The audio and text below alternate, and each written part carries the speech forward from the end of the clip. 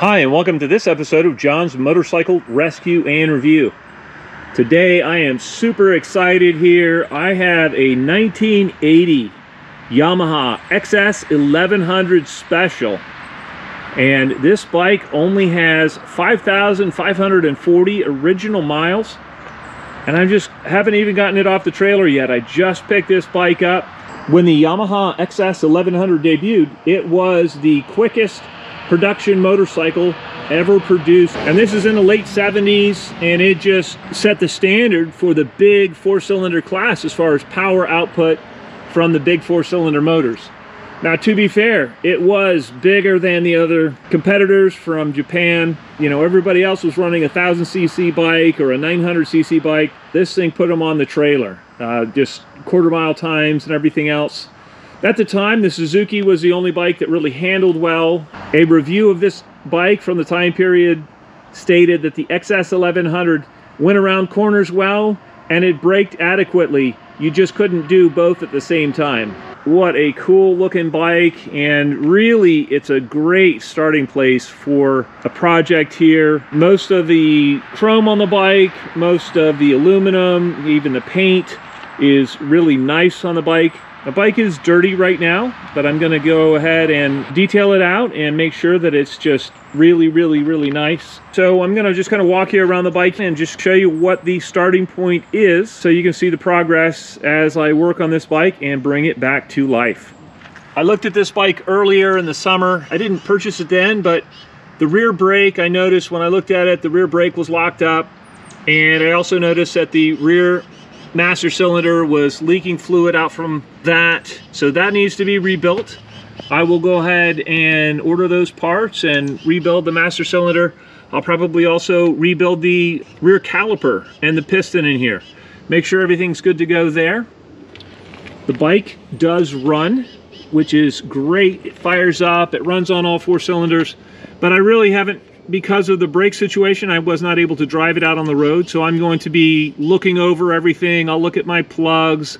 I'll make sure that the carbs are clean and functioning like they should be. Another thing, I'm going to kind of zoom in here. These cases polish up nicely, but they are corroded. This bike sat out for a little bit and it just got some corrosion on there. So these, these cases definitely need to be polished back out again. And you know, that's, that's not the end of the world. The original exhaust pipes honestly look like they're in very, very nice shape. Moving on to the front wheel and the front brakes, I noticed that when I squeeze the lever, nothing really happens. So I'm also going to rebuild the front brakes on this bike.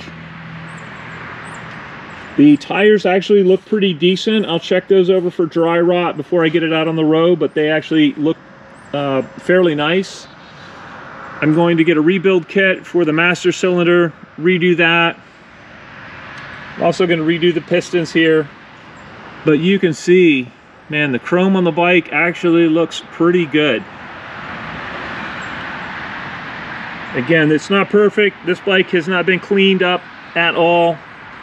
You are seeing it as I bought it. And this, this front fork is definitely going to need some, you know, cleaning up.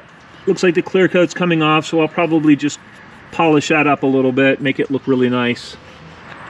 Onto this side of the bike, you can see there is some more corrosion over here on these uh, aluminum bits. But that should all honestly polish out pretty nice. And again, I'm just, I'm excited.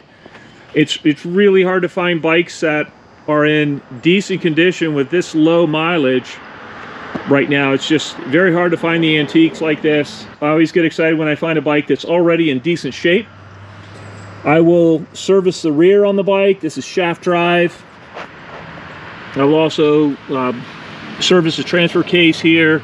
I'll service the engine and we'll take a look. I noticed when I was looking at the bike that you can see here the vacuum line was cracked and you know not even airtight at all so I'll replace this with a new piece and it's just part of going over it and making sure that everything is functioning like it should I want to get this bike out on the road and you know if the cosmetics are anything to go by it should be a really nice running machine.